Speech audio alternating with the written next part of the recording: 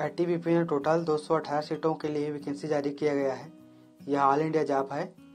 यह government of India ministry of defence के अंतर्गत आता है। इसके लिए मेल और फीमेल कैंडिडेट अप्लाई कर सकते हैं। पोस्ट का नाम कांस्टेबल है। देखते हैं एलिजिबिलिटी इसके लिए क्या रखा गया है।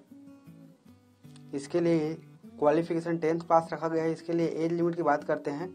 जनरल कैटेगरी के लिए एज लिमिट 18 से 23 साल रखा गया है।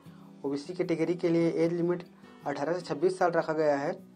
एस सी कैटेगरी के लिए एज लिमिट 18 से 28 साल है। बात करते हैं सैलरी की। इसमें आपको सैलरी इक्कीस हज़ार सात सौ से उनहत्तर हज़ार एक सौ रुपये मिलने वाला है।